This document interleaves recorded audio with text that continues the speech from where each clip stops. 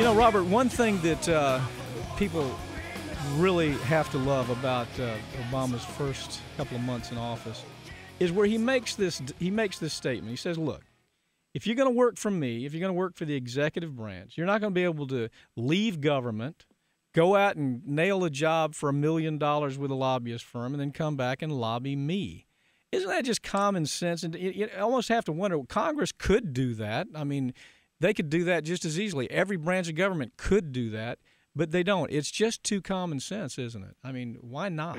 I, I, I can't attribute the cause of it, but I absolutely agree with you. It, this is, you know, this is the heart of the matter that I'm writing about in this book, which is the culture, the money culture in Washington, and the culture that that says that it's perfectly natural, for example, for a guy like Tom Daschle to leave a, leave a career in public service in the Senate and suddenly turn himself into an influence peddler, right. a strategic advisor in his case, not a lobbyist, a, a small technical difference.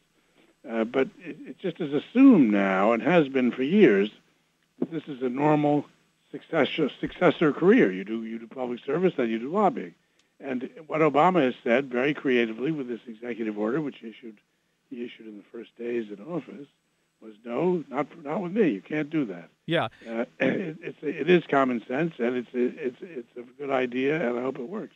Well, I hope it does too. Uh, you're ki- you know I got to tell you something. Uh, you're kind to lobbyists in part of your book, and then you round you you try to round them out. You try to round out the character, which is what any good journalist should do.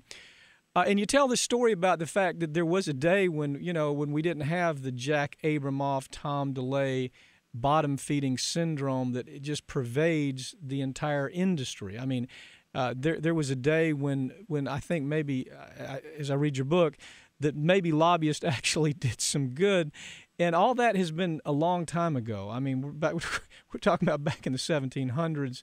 I haven't seen all that good in the last 10 years.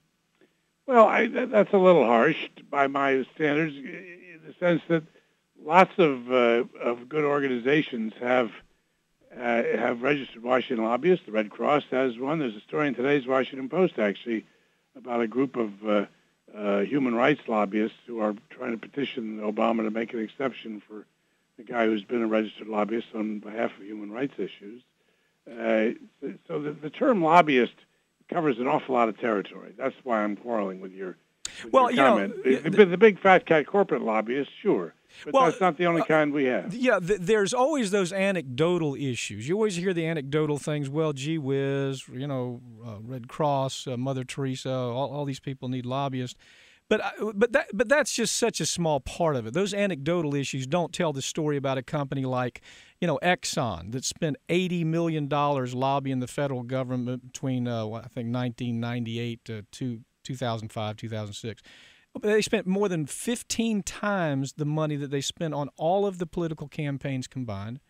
And so, I mean, we, we know we know what the end story is. I mean, we can always tell the Boy Scout stories. You know, golly, the Boy Scouts got to have their lobbies. Well, they don't spend uh, 200, 300 million dollars trying to uh, trying to impress uh, and change government to, to, to, to make government their lapdog. So that's the problem I had as I was reading that. But I, but it's important history. I mean, you tell the history that there was a day when there was uh, a lot of good came out of this, right? Well, yeah, some, but there's been bad coming out of it from the beginning as well.